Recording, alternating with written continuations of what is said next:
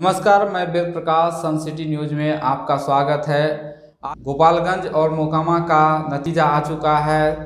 मोकामा में राजद ने जीत का परचम लहराया तो वहीं गोपालगंज की सीट ने, में बीजेपी ने अपना झंडा गाड़ दिया।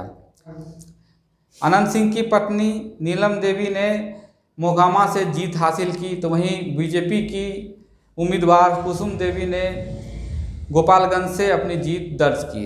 जैसा कि अनंत सिंह के समर्थक लगातार दावा कर रहे थे कि हमारे और आपको बताते चलें कि अनंत सिंह के यहाँ कल रात से ही खाने पीने की व्यवस्था हो रही थी। ऐसा वो लोग मान के चल रहे थे कि उनकी जीत सुनिश्चित है और आज रिज़ल्ट भी उनके उम्मीदों पे जो है पूरा खरा उतरा और वो सब लोग, उनका खाना कोई बर्बाद नहीं हुआ, उनके समर्थक काफ़ी जोश में थे।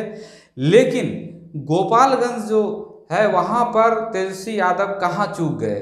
तेजस्वी यादव ने पूरी मेहनत की थी, आप उनके मेहनत को कम नहीं कर सकते, और जहाँ तक है, बीजेपी ने भी अपनी स्तर से कोई कोर कसर नहीं छोड़ी।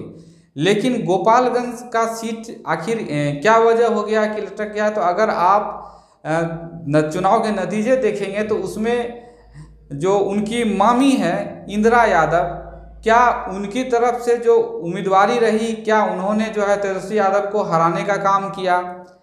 क्या ओवैसी की पार्टी जो बारह हज़ार से ज़्यादा वोट लाई, क्या उन्होंने उनको हराने का काम किया? क्योंकि अगर सत्रह सौ नवासी वोट, लगभग अठारह सौ वोट के आसपास मान के चलिए, जिसकी वजह से जो है बीजेपी जीती है, अगर उनकी मामी खड़ी नहीं होती या ओवैसी की पार्टी खड़ी नहीं होती तो शायद तेजस्वी यादव को हराना मुश्किल था, राजद को हराना मुश्किल था। तो कहीं ना कहीं मामी और मीम का जो है, कुछ खेला क्या हो गया कि तेजस्वी यादव की पार्टी चुनाव हार गई और बीजेपी चुनाव जीत गई। हालाँकि चुनाव में जो है अंक का आंकड़ा होता है जिसका जिसका आंकड़ा आया वो जीतेगा। तो निश्चित तौर पर, हालाँकि इस मामले में तेजस्वी यादव ने क्या कहा? तेजस्वी यादव ने ये कहा कि हमने पूरी कोशिश की और उन्होंने साथ में ये भी कहा कि हम गोपालगंज की सीट पर जो है, हम लोगों ने पूरी मेहनत की और उन्होंने जीत दर्ज करने वाले दोनों प्रत्याशियों को जीत की बधाई दी। और दोनों जगह से जो प्रत्याशी जीते हैं, उन दोनों प्रत्याशी को भी हमारी शुभकामनाएँ हैं। और उम्मीद करेंगे कि अपने जो जनता ने उन पर भरोसा किया है, उन भरोसा पर उतरने का काम करें। और आप सब लोग जान रहे हैं कि ये चुनाव मुकामा का एक तरफा रहा।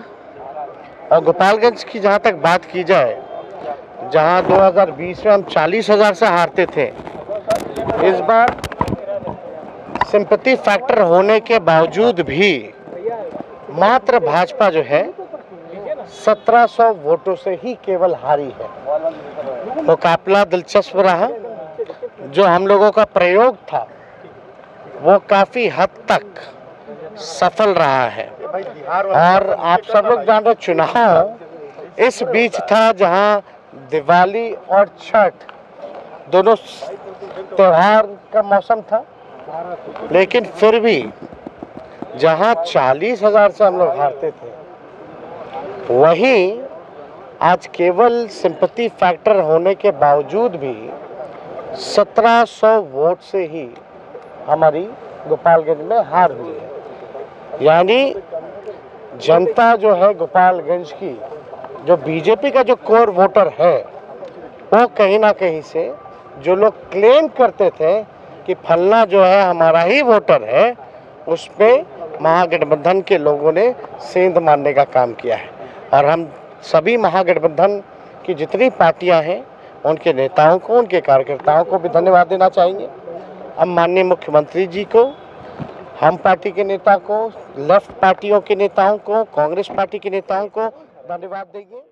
ज़िंदगी की भागदौड़ भरे सफ़र में हमें चाहिए एक नई ताजगी। अब सफ़र चाहे कोई भी हो, हर सफ़र में मिलेगी नई ताजगी का एहसास। तो बस एक प्याली चाय और अपने हर सुबह और शाम को बनाए खास बंगाल गोल्ड टी। चाय एक अनोखा मिश्रण, कड़कपन और भरपूर ताजगी का एहसास, बंगाल गोल्ड टी।